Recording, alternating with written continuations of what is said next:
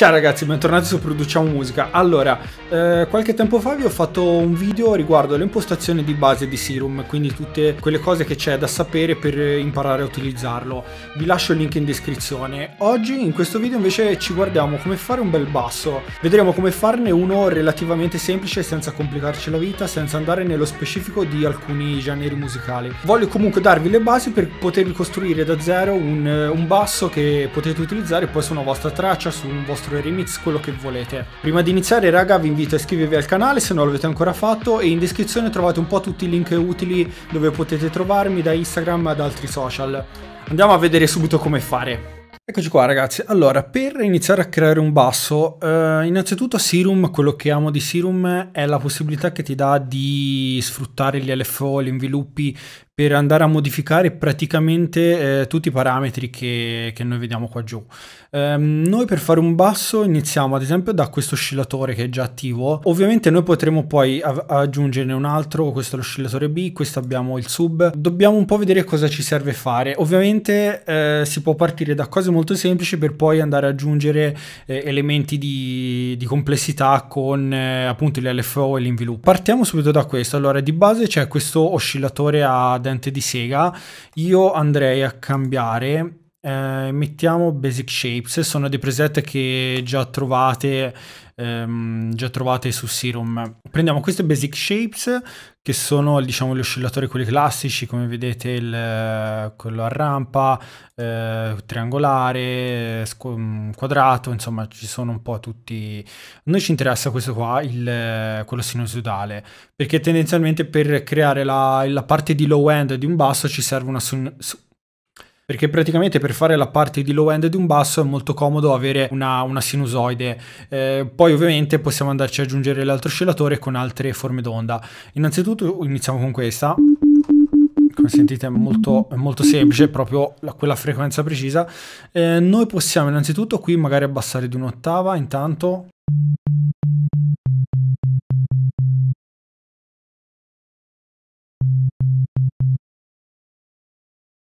Ok, come sentite eh, se ha, abbiamo appunto l'ottava inferiore.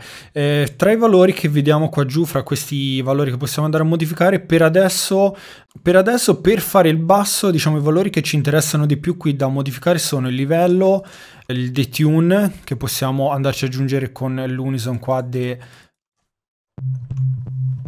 Come sentite cambia molto. Ok. E poi eh, questa non la tocchiamo perché eh, per il momento se andiamo a modificare la, la wavetable position ci va a cambiare proprio l'onda e quindi al momento non ci serve. E ci potrebbe interessare attivare questo eh, sistema di warping che praticamente è una monopolina. Qui abbiamo tantissime diciamo modalità. Eh, prendiamo plus e meno eh, che praticamente ci va a modificare la forma della, della, nostra onda in base a, appunto, al punto in cui noi la posizioniamo. E quindi anche questo è comodo andarlo a modulare con i valori che ora vi faccio vedere.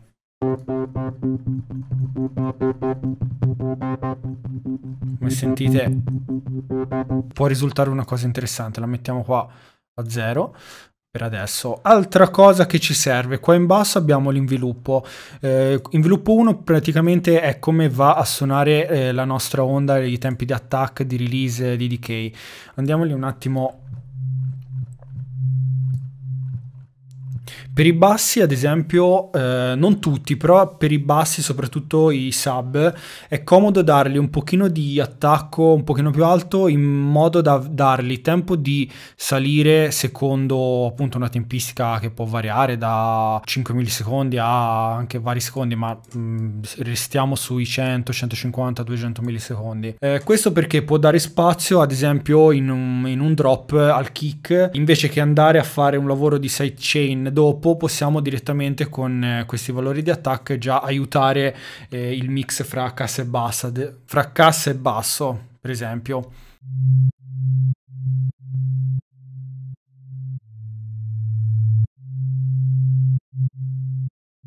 E, e, qui sui tempi di release di attack e di decay vediamo un pochino vedere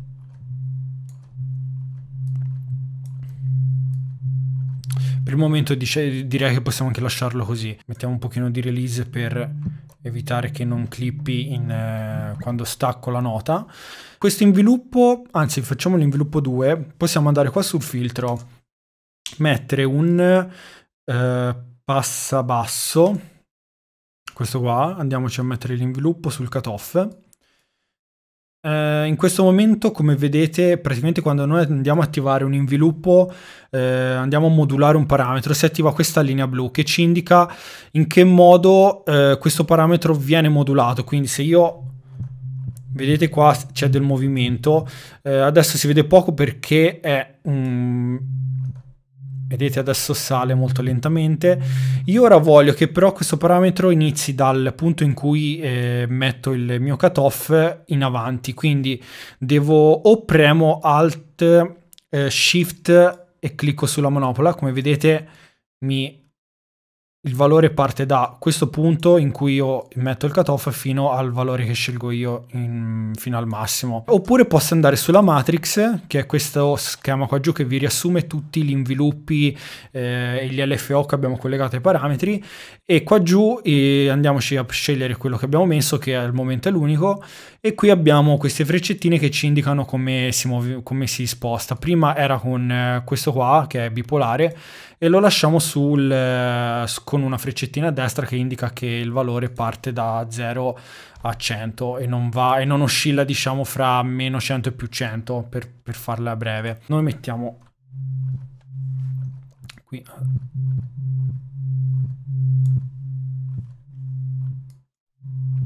In realtà con un sinusoide così semplice non si apprezza molto questo filtro eh, dobbiamo eventualmente dopo eh, o inserire un altro oscillatore, cosa che potrei fare. Allora, questa a sinistra è il sub, quindi è un oscillatore mm, semplice che noi possiamo selezionare la nostra forma d'onda, l'ottava, eh, il livello e il pan. Al momento non lo attiverei, attiverei piuttosto quest'altro che è il secondo oscillatore.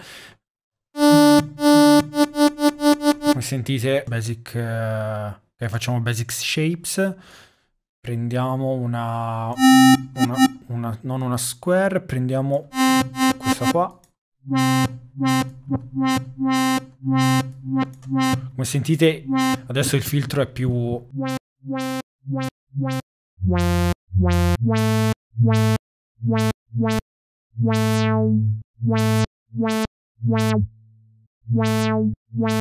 Wow wow, wow, wow, wow, wow, wow, wow, wow, wow, wow, wow, wow, wow. Wow, wow, wow, wow, wow, wow, wow, wow, wow, wow, wow,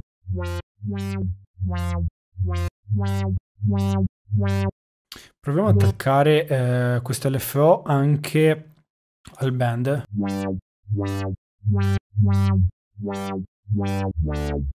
Sentite come eh, questo parametro molto semplice in realtà dà, eh, dà molto carattere al basso, con un, veramente un semplice L.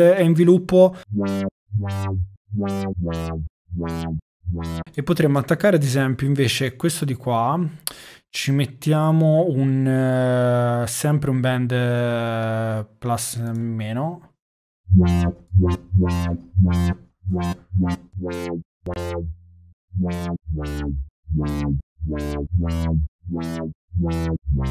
Una cosa importante quando si va a costruire un basso o comunque un synth in generale è eh, cercare di dare del movimento che secondo me è molto utile a rendere più interessante il suono. In questo caso come avete visto vado a modificare questi due parametri, il, il cutoff e già abbiamo una cosa molto più interessante della semplice sinusoide a quella frequenza, insomma, che non, ha, non serve a niente, se non in casi particolari, eh, in caso dobbiamo fare un, eh, un, sub e quindi ci serve qualcosa di abbastanza pulito e semplice per dare quelle frequenze intorno ai 20, 30, 40 Hz. Ovviamente tutti i parametri di attack release eh, li possiamo andare a modificare per fare in modo che il nostro basso rientri nel, diciamo, nella traccia che andiamo a costruire, quindi per brani a BPM più alti serve servono magari dei bassi più corti eh, e più impulsivi, mentre su dei brani più lenti oppure in particolari sezioni del brano ci possiamo mettere dei bassi magari molto più lunghi che comunque hanno una presenza maggiore rispetto a tutti gli altri strumenti.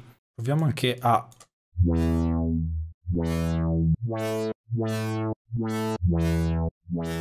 e qui sono andato a mettere all'inviluppo anche sul, eh, sull'altro oscillatore. Andiamo sulla parte di FX, che questa è un'altra eh, parte molto figa di Serum, quindi noi ci possiamo andare a inserire eh, tutti questi effetti e andarli a spostare come ci pare. Aggiungiamo un po' qualcosa, vediamo un po' di eh, hyper.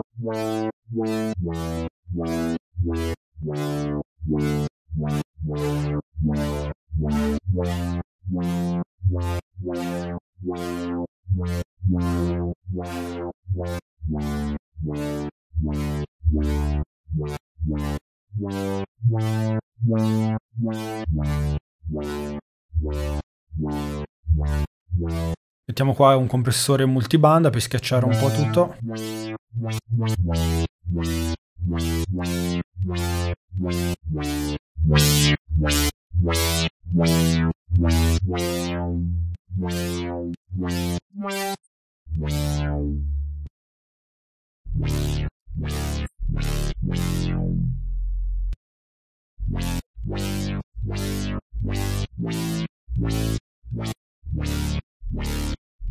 Wow.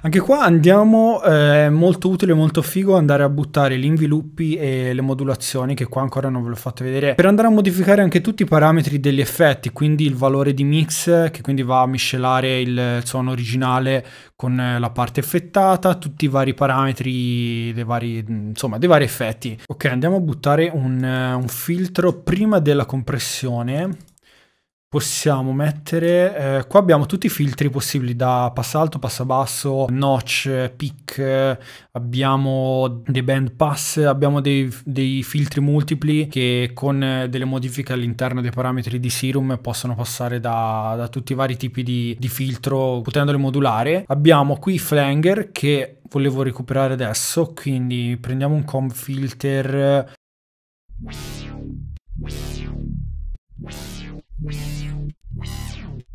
Prendiamo un comb filter per dargli un po' di parte ehm, non metallica, però comunque una parte di alte frequenze che può essere utile per un basso.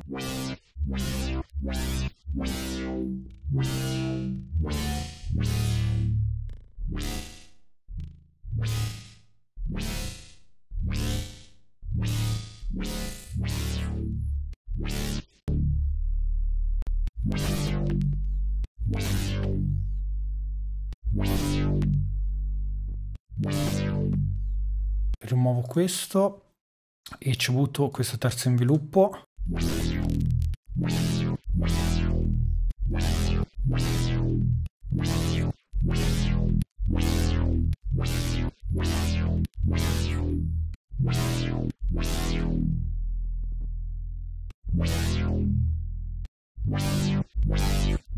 come vedete poi qua ci sono altri plugin ci sono altri effetti come gli EQ che possiamo andare... Qui potremo ad esempio eh, riprendere questo inviluppo, metterlo sul gain del, della parte bassa, control, eh, shi alt shift e clic così torniamo come dicevo prima per la modulazione.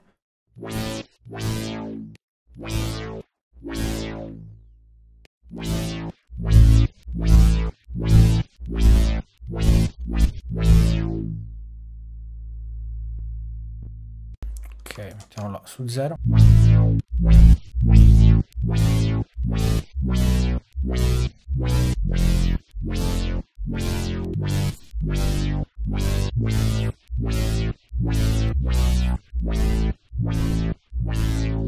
Qui facciamo invece il contrario, mettiamo un pochino di, eh, diciamo, di compressione sulle alte.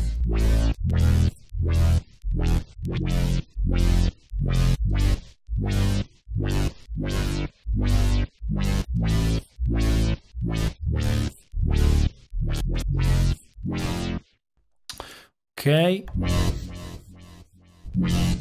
No, il delay possiamo evitarlo per adesso. Eh, direi che eh, per il momento ci siamo. Come vedete eh, non è stato proprio così semplice come vi avevo detto perché eh, secondo me qua è utile sperimentare molto e provare a, a, veramente lavorare su tanti parametri, provare a inserire modulazione effettistica su eh, tanti parametri. Eh, l'utilizzo degli inviluppi secondo me è molto importante, poi l'utilizzo degli oscillatori, che in questo caso il sub ad esempio non l'ho utilizzato, è molto utile e aiuta tanto a costruire un basso eh, figo che può andare comunque su tantissime tracce diverse da poterle utilizzare per appunto brani originali o comunque per, eh, per vostre tracce. Altri parametri secondo me fighi di Serum che non vi ho fatto vedere adesso in questo video, magari lo vedremo in un prossimo video, sono le macro, ovvero questi valori a cui noi possiamo collegare tutti i parametri da noi scelti e con una singola macro appunto andarle a modificare contemporaneamente tutte per avere un controllo maggiore sul uh, già complesso insomma routing che si può fare dentro Serum. Qua in basso abbiamo la parte di voicing, e di velocity e di note. Queste sono comode, eh, ad esempio la note può essere comoda applicata al cutoff dei filtri di questo o di eh, quest'altro filtro per eh, andare a modificare, a filtrare le frequenze in base alle note suonate, quindi magari su delle note più alte andare a band passare delle frequenze medie o medio alte, oppure con delle note basse di un sub o di un basso come in questo caso andare a filtrare tutte le parti di frequenze alte. Inoltre c'è la parte di voicing che può essere comoda per creare il legato fra le note, per creare un portamento che è, vediamo Wow.